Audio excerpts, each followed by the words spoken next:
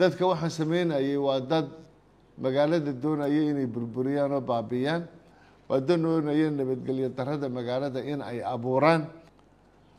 Waxaynu kaloo haynaa dad fara badan oo baraha bulshada ku cabaahinaya arrintan oo maxaanku dhahdayey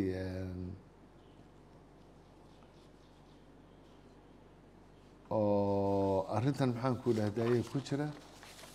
Qoraalkoodiina waanu haynaa sawirkoodiina waanu haynaa sifaha shareecadu ay tilmaamayso ee qisaasta iyo dilku markuu dhaco ayaa qaynuunka somalilandna uu u maraa.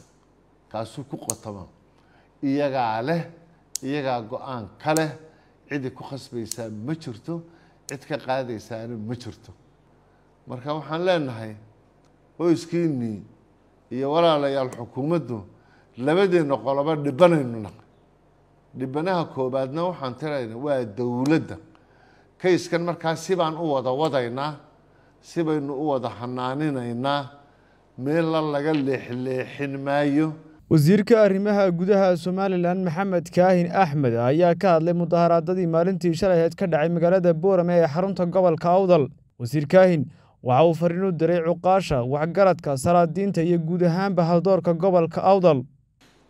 Maanta shirkan jaraa'id waxaan u qabtay dhacdadii ka dhacday shilkii uu marxuum khadar maxamed uu ku dhintay magaalada saylac oo ka tirsanaa ciidanka ilaalada xeebaha ee jamhuuriyadda somalilan marka ugu horeysa tacsidiisa hore aan u dirnay taliska ciidanka uu ka tirsanaayo wasaaradda daakhiliga labadaba iminkana waxaan leenahay mar labaad ilaahay naxariistii jannada ha ka waraabiyo. Ilaahay jannadii furdowsa ha ugu deeqo. Ilaahay ehelkiisi iyo qaraabadiisiina samir iyo imaanaha ka siiya. Cawl kheyr qabana ha ugu bedelo marxuumkaasi wuxuu ka tirsanaa ciidanka ilaalada xeebaha. Waxaa ku dilay gacan ku dhiigle isaguna ka tirsan ciidanka ilaalada xeebaha bishanaynu ku jirnay moy saddexdeedii buu shilkaasi dhacay. Bisha afarteedii waxaa la keenay magaalada boorame. Meydkana cusbitalkaa la geeyey gacan ku dhiglihiina jeelka ayaa maxaanku dhahday markiiba lagu hubsaday. Laba casho dabadeed isla markaaba waxaa tegay maxkamadda ciidamada derajada koowaad. Bisha toddobadeedii kiiskaas maxkamaddu way qaaday isla bisha toddobadeediina marxuumkaas kayskiisii gacan ku dhiiglihii way xukuntay dil bay ku xukuntay. Bal marka ugu horeysa waxaa doonaya bulshada inaanu tilmaamo kayskaa sida loo maamulay wakti ahaan iyo mas'uuliyad ahaan dalka somaliland intaynu joogno kays loo maamulo ma jirto kayskaa waxaa ka abuurmay buuq fara badan mudaharaadyo khasaaro keenay magaalada boorama boob lagu boobay dhibaatooyin kaloo fara badan oo timi. Marka ugu horeysa dhacdooyinkii dhacay iyo buuqaa dhacay sallaanbaa looga dhigtay iyo maxaanku dhahday dariiq loo maray iyo sababe naxli iska huursanaa oo dad qaarihii ay wadeen ayaa ka soo dhigtay fars dariiq iyo sabab geerida marxuumkaas. Inaanay arrintaasi marxuumka eheladiisii qoyskiisii qabiilkii uu ka tirsanaa nin degaanka dilo ka tirsanna uu ahaa allaaya raxma. Wax alaalayo wax dhibahoo maxaanku dhahday ay arrintaa ku leeyihiinna inaanay jirin. Markhaati kale waxaa ka ah dadka hadda rabshadaha iyo mudaharaadyada iyo arrintaa u xidhxidhani hal qof baa kaga jira qof labaad kagama jiro. Dadka abaabulaya cidi kagama jirto dadka fulinayana cidi kagama jirto dadka imika xidhina cidi kama jirto. Markhaati labaad waxaa ku ah way hadleen eheladii. Marxuumkaasi uu ka dhashay. Waayeelkoodii iyo waxgaradkoodii iyo eheladiisii qaraabadiisii ehelkiisii ugu dhowaa baa hadlay. Waxgaradkiina maxaan ku dhahdaye way hadleen. Waxa ay sheegeen inaan aanay iyagu sabab u ahayn. Inaanay iyagu ka mid ahayn. Inaanay iyagu ku jirin. Dadka ehelka sameynaya waxay kaloo tilmaameen waxaanu aad iyo aada uga xunnahay annaka geeridu nagu dhacday ninka iyagii dhacay ayaa lagu maxaanku dhahdayey maxaanku dhahdayey lagu qarinaya oo lagu dhibaateynaya arrinkiisii. Waxaa kaloo hadlay shirkii shalayta ay yeesheen waayeelka iyo cuqaasha iyo salaadiinta iyo waxgaradka gobolka awdal ayaa iyaguna hadlay. Waxaana ay caddeeyeen oo sheegeen inaanay arrintani arrin ka dhalatay dadka reer boorama ahayn. Inaanay ahayn arrin maxaanku dhahdaye mas'uuliyiinta iyo waayeelka iyo waxgaradka. Aanay ahayn. Inaanay ahayn arrin dadka degaanka iyo mujtamacu aanay ku tashanin. Su'aasha isweydiintali waxa weeye oo talow haddee xaggaa laga yimi jawaabahaynu hayno waxaa ka mid a dadka social mediaha ka hadlayey ee sawirkoodiina la hayo magacoodiina la hayo. Isla qurbaha joogtaan oo laydinma soo raad raaci karo. Ee leh saleebaan axmed guuleed brofesorka jaamacadda camud asaasay jaamacadaha reer somaliland iyo kuwo meelo kaloo mandaqada ka tirsanba ka wada sareysa ee dadaalka degaa degaanka intaa dadaalka intaa leeg dagaalka geliyey. Maxaa le dadaalka geliyey?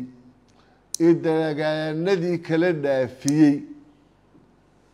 Oo tolom ma inanka yaree leh ama qofka xilkas nimo darada ku hadlayo noocu kastuu yahayba ha hadlee.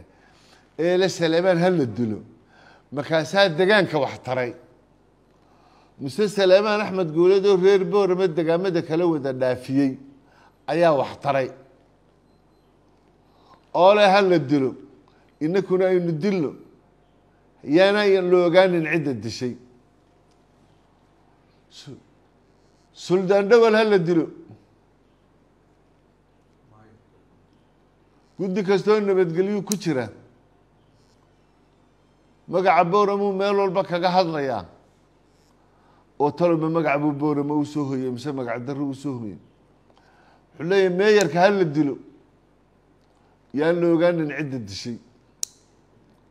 Arrintani meelo hore ka dhacdayna way jirtaa dabadeedna marka intaa la dilo ee cabdi daa-uud ka mid yahay maalin kasta oo boorama wax ka dhacaan axmed daa-uud wuxuu joogaa booramuu jooga. Wasiirka ganacsiga ha la dilo dadka shicibkaa waxaan doonayaa inaan u tilmaamo oo u sheego war dadkii reer boorame waa dadkii reer boorame ee shirkii saddex iyo sagaashankii aynu ku gallay ee buddiga somalilan maxaanku dhahdaa ee aasaaska u ahaa. Dadka doonaya inay boorame maanta khalkhaliyaan. Dadka doonaya maanta boorame in laga qaxo. Dadka maanta doonaya in reer boorame isdhiig tallaabaan dadka maanta doonaya mudanka iyo mas'uuliyiinta iyo madaxda. Dadkii aan hadda magacyadooda sheegayay in lagu laayo. Waa dad nooceeya waa dad xilkaskee ah. Waxaan leenahay markaa xoogagaynaan garanaynin dadka qaarde laga yaabo inay boorama u dhasheen laga yaabo tacabka iyo ilbaxnimada iyo maanta maamuuska iyo melgaha yaalla boorama inaanay waxba ku lahayn. Oo doonaya maanta in ay dumiyaanba ayaa ayaa meesha jira. Been baa la abuuraya. Beenta la abuuraya waxaa ka mid a ninkii ninka dilay waa laydinka qaadaya. Xaggee la geenaya miyaa la liqaya. Faamiligii uu ka dhashay iyo ehelkii uu ka dhashay ninkaa ninka dilay. Way hadleen reer booramay la hadleen. Qoyskii maxaanku dhahday marxuumku ka dhintay bay tacsiyadeeyeen. Si gobonimole iyo milgaabay u hadleen. Dabadeedna si maxaanku dhahday shareecada waafaqsanna way u hadleen. Way idhaahdeen waanaanu idin tacsiyadeyneynaa samariya imaan ilaahay ha idinka siiyo. Ninkii gacanku dhigliina waa la hayaa. Go'aanka iyo gebagabada iyo taladiisana isagaa leh. Waa intii dadka soomaalida ahee gobtihi ay is odhan jireen bay iyaguna yidhaahdeen annana waanu garanaynaayo intaa waanu ku garanaynaa arrinta caddaan caddaanka ah ee meesha taallaa waxa weeye marxuumkaas maanta waxaa u xidhan gacanku dhiiglihii taladiisa iyo go'aankiisa qoyskii uu ka geeriyooday baa leh. Laale iyo waxay go'aankooda iyo maxaanku dhahdaye ay ku jeediyaan sifaha shareecadu ay tilmaamayso ee qisaasta iyo dilku markuu dhaco ayaa qaynuunka somalilandna uu u maraa kaasuu ku qotoma iyagaa leh iyagaa go'aan ka leh cidi ku khasbaysaa ma jirto cid ka qaadaysaana ma jirto. Taasi waa caddaan. Darajadii labaad ee maxkamaddu iyaduna siday tii hore go'aanka u qaadatay ee ay xilkeeda u gudatay bay xilkeeda u gudanaysaayo keliya waxaa meesha yaalla labada ma maxkamadeedna maxkamad meel uguma tagto. Maxkamadda hore markay riboortkeeda keento ee qaynuun soo dha soo dhammaystirto ee go'aankii ay qaadatay ee wax ku xukuntay maxkamadda kale u tagto ayay maxkamadda arrintase maxaanku dhahdaye maanta meesha taalla ee dhibaatada la doonayay in reer boorame maxaanku dhahdayey khalkhalka lagu geliyo dukaamada yaa boobaya ma nin qof ka dhintay oo gadoodsan oo qofkii uu ka dhintay arrinkiisii ka hadlaya ayaa kuwa intay ku beerbeera. Meel maxaanku dhahdaye dumar diricyo dhinteen iyo dukaan yaro sharaab yaalla ayaa ku ayaa ku ku baydha dadka waxaan sameynayay waa dad magaalada doonaya inay burburiyaan oo baabiyaan waa doonaya nabadgelyo darada magaalada in ay abuuraan. Shilkan marxuumka ku dhintay waa sarkaal xigeen saddexadhigle ciidamada ilaalada xeebaha qaranka ka mid ah. Ka kalena isla ciidanka ilaalada xeebaha qaranku ka mid yahay. Marka ugu horeysa cidda dhibanaha ahi waa qoyskii iyo eheladii uu ka dhashay iyo xukuumadda somalilan baa dhibano ah. Marka waxaan leenahay qoyskiinii iyo walaalayaal xukuumaddu labadeenna qoloba dhibanaynu nahay dhibanaha koobaadna waxaan tirayna waa dowladda. Kayskan markaa sibaan u wada wadaynaa si baynu u wada hanaaninaynaa meella laga leexleexin maayo. Dadka ina arbushaya ee idinka idin arbushayana aynu meel uga soo wada jeedno ciidamadayna nimankani ka wada mid ahaayeen. Waxaan doonaynaa ciidamadeennana inaynan haybadda ka wada qaadine arrintooda inaynaan meel iyo qabiilooyinka iyoynaan ugu abtirine. Keliya markaynu arrintaasoo kale ka talinayno hooyadii iyo aabbihii iyo walaaladii iyo xaaskiisa iyo caruurtiisa. Intaasaan isku ciidan darsanahayn taladii waa tana laga qaada.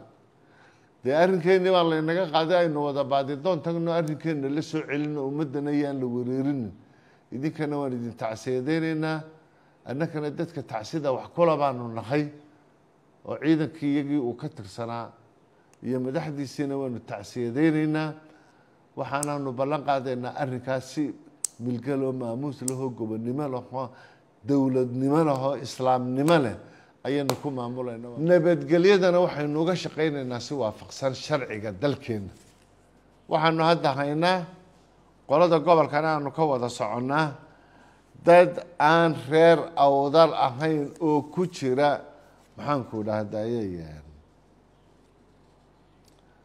ku jira qaskan iminka maxaanku dhahdaye ka socdo.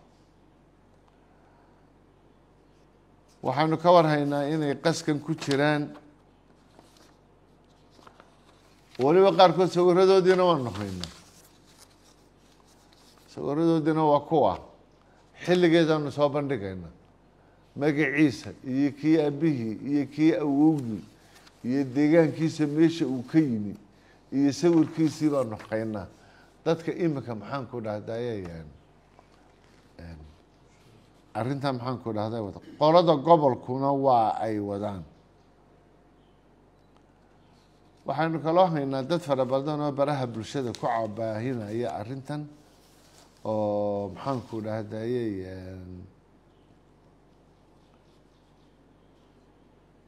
oo arrintan maxaan ku dhahdaye ku jira qoraalkoodiina waanu haynaa sawirkoodiina waanu haynaa. Maxkamaddana waanu geyneynaa kiiskoodina waynu qadimeynaa qolada gobolkuna maxaan ku dhahdaye qolada gobolkuna maxaan ku dhahdaye waa ay haysaan waxaynu u baahan nahay shicibka nabadoonka ah shicibka deganaanshaha dantiisu ay ku jirto dadka waayeelka ah culimada iyo salaadiinta iyo waxgaradka. Waxaan ugu baaqayaa danteennu waxay ku jirtaa nabadgelyada. Soddon sanadood waxaynu yabyabeynay dad aan xilkas ahaynay imika inagama dumin karaan. Waxaynu u baahan nahay markaa inaynu caqligeenna iyo tabarteenna iyo xooggeenna isugu geyno inaynu nabadgelyadeennana ilaalino nabadgelyadeennana ilaalino arrinta marxuumkan uu ku geeriyooday cabdilqaadir maxamed na inaynu ku maamulo sidaynu kuwii horena u maamuli jirnay. Ilbaxnimadeenna iyo dhaqaalaheenna iyo aasaaskeenna iyo arrimaheennana maxaan ku dhahdaye aynu aynu si wanaagsan aynu u ilaalino. Dabadeedna arrimaheenna aynu si wanaagsan uga gudano ummaddeennana iyaan kalsoonideeda la kala dilin. Magaalada bowramana dadaan xilkas ahayn ayaana inagaga ciyaarin waayeelka aada iyo aad baan ugu ammaanayaa aada baan ugu bogaadinayaa shirarkii ay galeen natiijooyinkii ay ka soo saareen waayeelku hadalkii ay jeediyeen aada iyo aad baynu ugu mahadsan ugu mahadnaqaynaa haddaynaan madax iyo minjo kala yeelan haddaan mas'uuliyiini inoo tilin haddaan waayeelkeennu iyo waxgaradkeenna aan la maqlin waxaynu noqonaynaa dad aan madax iyo minjo lahayn waxaan cid walba xasuusinaya ragga laga dulboodayay waayeelkii kun iyo sagaal boqol iyo koob iyo sagaashankii. Waa raggii maareeyey ee ka teliyey dhibaatooyinkii dalkii soomaaliya la odhan jiray yiilay iyo dhibaatooyinkii iyo nabadgelyo daradii iyo colaadihii laga dhaxlay. Reer somaliland waa dadkii ka teliyey raggii shirkii burco qabtay. Reer booramaa ugu soo horreeyey.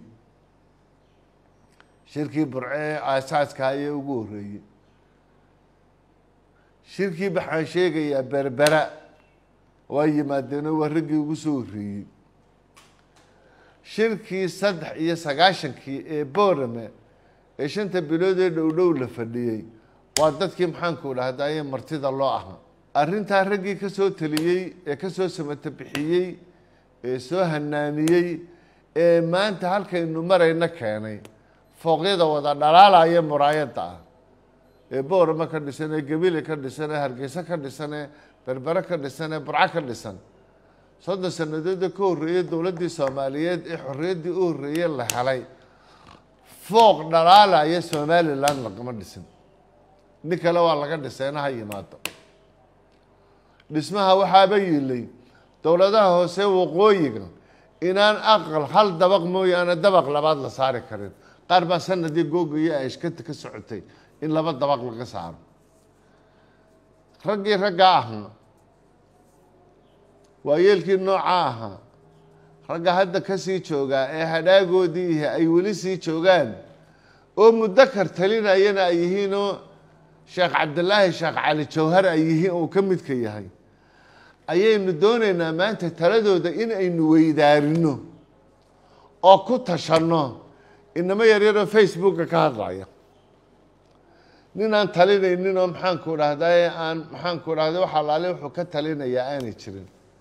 Waxaan dadka doonayaa inaan ku bagaadiyoon idhaahno taladeennu yay lumin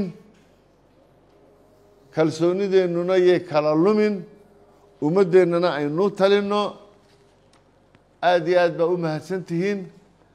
Ehelkii marxuumkaasna geeridaanu idinka kula damqanaynaa taladaanu maxaanku dhahdayey wax aa ku leedihiin baa ayaa ayaa la raacayaa. Meel allaaliya meelaynu ku kala maqnaanaynaana ma jirto. Diyaarna waxaanuu nahay hawsha aragtidiina iyo fikirkiina inaanu la tixgeliyo la haysto la qaato lagu camal falo aan isaga nimaadno xidhiidhna waan yeelanaynaa hanaa xagga gobolkaynu ka soo wada hadlaynaa. Insha allahu ilaahay naxariistii jannada isagana ha ka waraabiyo. Ilaahayna haynoo roonaado. Eelkiina iyo qaraabadiinana samir iyo imaan baanu idin leenahay. Walaalayaal waanu idinla damqanaynaa sababka liftaana jiri mayso inaan mas'uullo dalka ka ahaano. Qof qofkiisi geeriyoodayna in dariiqyadiisii si xaaraana oon shareecada iyo sharciga waafaqsanayn loo maamulo. Iskanna muddada aan sheegay ee saddexda casho u dhaxayso ayaa hawshiisi oo dhanna lagu dhammaystiray kayskiisii oo dhanna lagu dhameeyey dariiqaa uu haystaan uu ku dhammaanaya.